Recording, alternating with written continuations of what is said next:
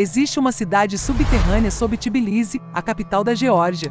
Durante a Guerra Fria, a União Soviética alocou um grande orçamento para se preparar para todo tipo de ataques, incluindo nucleares. Somente sob Tbilisi há cerca de 450 bunkers. Um deles possui um enorme painel de controle para se comunicar com bunkers subterrâneos em outras cidades georgianas. Um fotógrafo chamado David Tabagari se aventurou no subsolo de Tbilisi para explorar as ruínas da era comunista. Eu sempre quis testemunhar e fotografar essa parte escondida de Tbilisi. Sabia a localização de vários dos bunkers e os meus amigos e eu encontramos outros através da nossa pesquisa. Com um olho treinado, não é difícil localizá-los, informou Tabagari. Depois do colapso da União Soviética, em 1991, os bunkers foram abandonados mas alguns ainda exigem autorizações especiais para a entrada. Não estou divulgando os locais exatos para evitar vandalismo, acrescentou David. O bunker perto do aeroporto de Tbilisi foi projetado para abrigar 150 pessoas.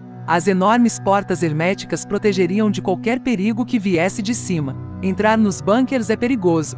Muitos estão danificados e parcialmente destruídos. Morcegos e água parada são outras ameaças. Eu nunca soube o que esperar. Foi necessária certa preparação e também equipamentos especiais para garantir a nossa segurança. Como esses lugares estão escondidos na escuridão, levei a minha própria luz e tentei capturar o misterioso ambiente desses lugares por baixo de Tbilisi, concluiu o fotógrafo David Tabagari.